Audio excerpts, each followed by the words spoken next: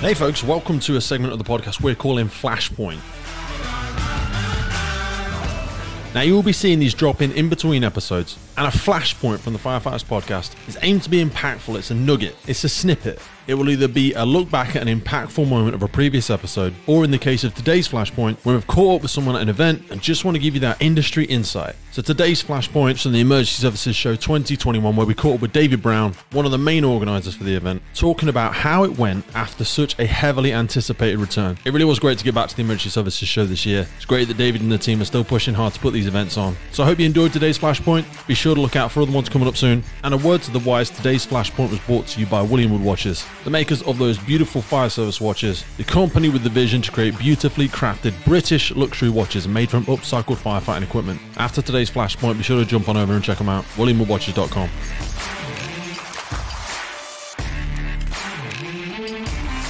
Hi, Pete.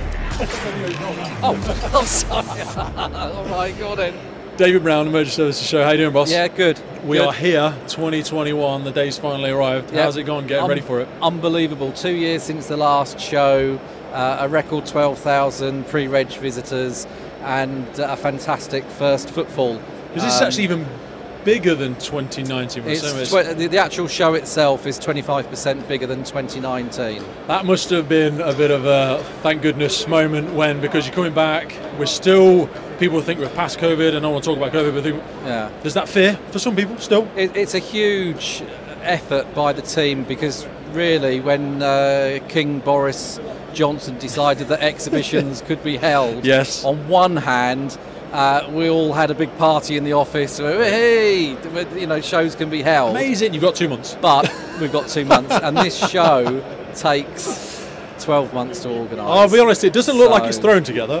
There's a lot of uh, a lot of big expensive stuff in this Yeah. room, and a lot of people and a lot of logistics to, Yeah. to throw together. So we've seen some fantastic returning people, but there's a whole lot of new exhibitors as well. Yeah, a lot the of pandemic and all that. We've been gone for two years. These- there's been the- some great people coming yeah, up. these equipment suppliers have not stood still for two years. No. They've invested, and that's why I'm delighted that the response of the emergency services to come and see Hmm. the latest because technology is just changing. it's really It's a game changer. isn't it? It's not Yeah. going incrementally one, two, ten. It's surging now. and, and and you're not talking about it's it's not technology, IT technology or communications. It's vehicles. There's electric vehicles here. Um, there's, there's just so many new type of of boot material, uh, fabric material. Speaking to a whole bunch of them, they were saying that because you know when you've got that to-do list that you never get around to, Yeah. the the non-essential Yeah, to-do yeah. list. People have said that during this sort of shutdown, they've not been running, blah blah blah blah blah. People have had that time to do those projects, to do those big innovations in their companies that they've always wanted to do. Yeah. So that you know, because I hear that when you say that, we're seeing here today those massive innovation that's finally taken place. They've got their teams together. They've Yeah. had, they haven't had the noise of the industry. No one wants it to happen again, but they've not had that going on. And there's really been some incredible stuff coming out. But I, I think it's twofold. I think equipment suppliers uh, have really, really missed being able to go out on the road and going to, to, to fire stations and HQs and sell their wares. Yeah. And equally, um, end users like yourselves, you've Yeah. missed seeing the innovation Absolutely. and, Zoom calls and team calls. I'm afraid They don't quite those it, guys, they? those guys had their chance and they screwed it. so Um, many people have said, you know, I've said to a lot of people, and I'll ask you in a minute, just give you a heads up. I've said, you know, what's the best part of the emergency services show? What do you enjoy about working in this sector? And all of them, pretty much all of them, have said it's the people. And It- the it- irony being, they've had all this time without the people. So Yeah. now, like you said, they're back on the road. They're meeting the front line. But you know, putting it into perspective, you only have to see uh, the excitement in people's faces uh, on Match of the Day, Old Trafford, seventy thousand people, Bang. not a face mask to be seen, No. and the joy of people getting back to see their team. Yeah. And and that's just rolled out. You go down to the pub, you go to the cinemas, you go.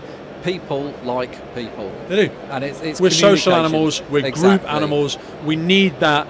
You know, you don't have to reach out and touch people, but we like that. We like that oxytocin, that, Yeah. that serotonin, that bit we get from sharing connection with other people, and that's what I see today. So many people getting back together, different industries. You know, I mean, what have been some of the biggest changes we've seen this year? Because obviously, I was really impressed to see the checks you guys had. You said there about people being scared, masks, no masks. You guys have been pretty bulletproof in that. I mean, that's The- the- probably the helped a lot of people. Yeah, the messages beforehand, it, it, it was difficult because the government only give a, a limited, a minimum amount. Yeah. Uh, and as an exhibition organiser, especially for the emergency services, you know, you guys are frontline uh, operatives, so you're special. Yeah. And so we've had to put special measures in. Yeah. Um, we don't want anybody going home from here sick. No, of course we don't. And, and equally, the supply chain, we don't want the supply chain No. to, to go down that they can't. uh, Absolutely. So it, it, it's a real big responsibility, and we've taken that responsibility extremely seriously. I Um, had to register three or four times before I came in. We had the COVID passes that they needed to do at the beginning. You had to show your authentication. You had to show you had your vaccines. yeah. Everybody here, yeah, it's a massive And, auditorium. and, and it has safe. caused confusion with people. Yeah. And, uh, and but you know, sometimes at the end of the day, we've got the industry's industry um, interest at heart. Yeah. We're not just doing it. We're not charlatans or anything like No, that. no, no, no. It's a professional show, and let's all be sensible. people see how essential it is as well. And whilst a lot of things we've said, some companies have been in limbo and stuff like that. Everybody's still been working. The Yeah. emergency services is one of the few things that Yeah. has been non-stop. If Yeah. anything, we've been busier than ever because we've had to go from pillar to post, picking up different. I know just from the fire service perspective, you know, delivering medications, doing all these other different roles.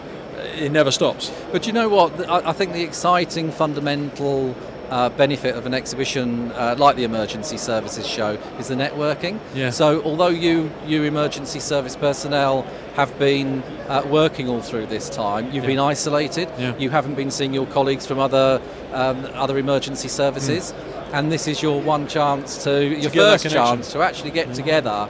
And, and pick up old acquaintances and, and, and look at different changes Yeah, that are Um, going You in. and I have had chats in the past, but even I was blown away because we've not met each other before, and you obviously ran up and gave me a big hug and a kiss and jumped into my arms. A little bit inappropriate, maybe, but it's great to get those Steady connections. on, we've, had steady so, on. we've had so many guests on. We've not even had a chance to meet them. You know, Yeah. meeting and seeing people here today. Yeah. I mean, I'd just say thank you from the from the podcast and the listeners' perspective. And, and, and equally, um, thank you for doing the podcast because you've been filling in a gap as well Hmm. of helping people communicate. It's all really, really There's so many incredible people here today. I really look forward to the next sort of 12 months, giving all of these companies the opportunity to see the incredible innovations we've seen in, in technology, in fire kit, in the vehicles. There's, I just feel like a kid in a toy shop. There's Well, I'm looking forward to to the around. next 12 months to recover from these. Thanks very much.